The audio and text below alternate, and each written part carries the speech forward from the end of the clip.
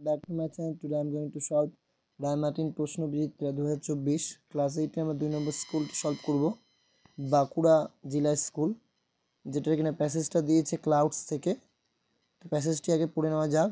The farmer too could not make sense of the questions clouds yaks the farmer too অর্থাৎ কৃষকটাও could not make sense of the questions অর্থাৎ প্রশ্নটার মাথা মুন্ডু বুঝতে পারল না।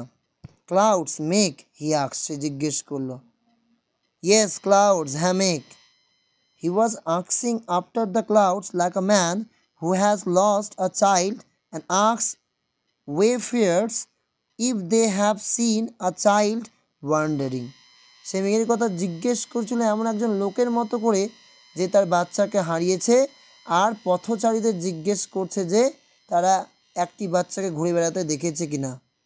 Perhaps the clouds too were lost children and he was going to around asking people about them মেঘরাও যেন হারানো শিশুর দল আর তাদের ব্যাপারে লোকজনকে জিজ্ঞেস করে বেড়াচ্ছিল। But no one could give him satisfactory answer কিন্তু কেউই তাকে ঠিকঠাক উত্তর দিতে পারল না। বা কেউ তার পরি পূর্ণ তৃপ্তির উত্তর দিতে তাকে পারল না। এই ছিল প্যাসেজ। প্রশ্ন রয়েছে, দ্য ফার্মার কুট কৃষক পেয়েছিল?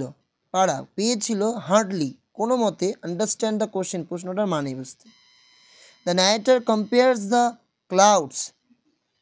লেখক কম্পেয়ার, তুলনা করেছিল ক্লাউডকে আর লস চাইল্ড। একটা হারানো শিশুর সাথে। No one could give him satisfactory answer to.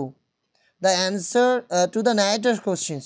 কেউই কী করতে পারেনি? পূর্ণ তৃপ্তিযুক্ত উত্তর দিতে পারেনি লেখকের প্রশ্নের।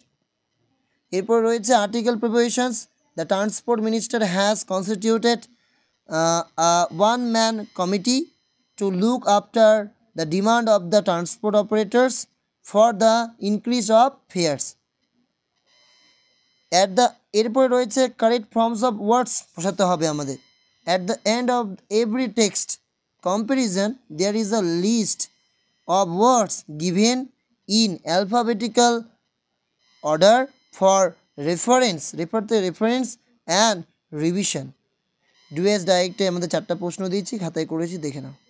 ফার্স্ট প্রশ্ন it is now time to do your work voice change করবে it is time for your work to be done তারপর as the sun rose we resumed our journey having যুক্ত করতে হবে।